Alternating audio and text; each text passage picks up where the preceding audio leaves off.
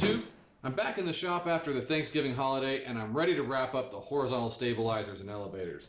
So today I'm going to focus on taking an incomplete panel from this to this.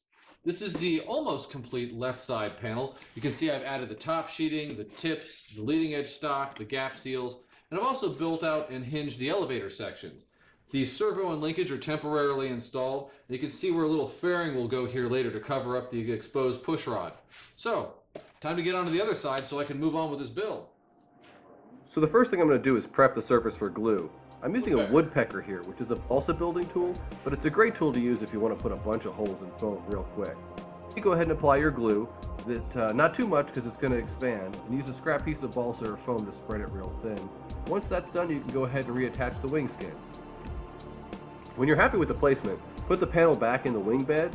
The wing bed is going to actually hold the panel to the formers and make sure that nothing twists or shifts while the glue sets up. Then you just toss a bunch of weight on top and wait for the glue to dry. Once the glue has had time to set up, go ahead and pull the panel out and do a quick inspection. You want to make sure your seams are tight and that it feels like the skin is really adhered to all of the ribs. If you're happy with everything, go ahead and start trimming off the excess balsa.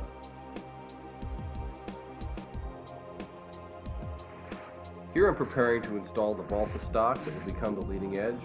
Before I install it, I'm actually going to take a woodpecker tool to the panel again, just to prep the surface to make sure that it's ready for glue. I like to use painter's tape to provide the necessary clamping forces, and I use it pretty generously. Now I know it's a little bit wasteful, but I've never had an issue with painter's tape marring the surface. Here I'm applying a layer of, of tape to protect the skin surface while I use a razor blade to go through and quickly carve off a lot of material, saving myself some time when I go to sand the leading edge. Now I'm going to use my sanding bar just to clean up the leading edge a little bit. I'm not going to worry about really rounding it off yet because I'm going to do that once I attach the wingtip. Once it looks good enough, I go ahead and move on to attaching the tip of the panel. This is just a block of balsa that will get sanded to shape later, but you can see here I'm using a generous amount of painter's tape again to provide the clamping forces. Before that sets up, I do a quick test fit with the template for my elevator section. The elevator section is built with more traditional balsa building techniques. Now, I'm not much of a balsa builder, so please feel free to correct me if I'm doing this completely wrong.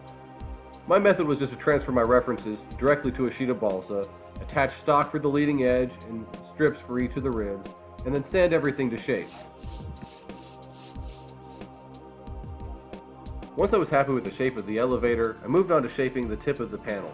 Now this took a little bit longer because there was more material to remove, but it came out really nice. You can see here I'm also doing the sanding directly in front of my air cleaner, which sucks a lot of the balsa out of the. Alright, done. I want to show you guys a tool that I use for doing my gap seals. Now this is a little custom sanding block. This one lets me sand in exactly a half inch and 5 eighths of an inch from a edge. So this comes in handy when I need to install my gap material. You can see this is a 1 inch wide strip of 1 64th inch plywood and I want it installed exactly 1 half inch into this surface. So I'm going to take my 1 half inch side here and all I'm going to do is drag it across the uh, drag it across the surface here and it will sand in a perfectly straight channel across my trailing edge that will accommodate my gap seal. Super easy, nice and clean. Once the channels are sanded in, I go ahead and attach that strip for the gap seal with a little bit of CA glue.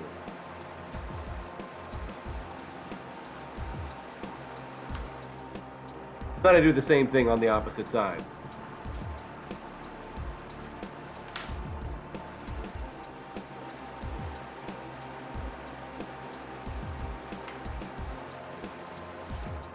And then for good measure, I run a thin bead along the inside seam.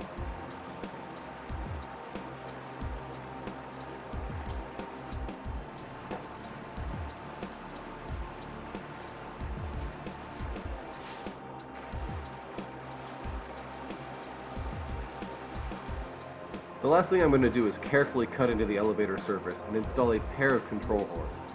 I'm going to use a 440 ball link that will be situated between the control horns to connect to the push rod.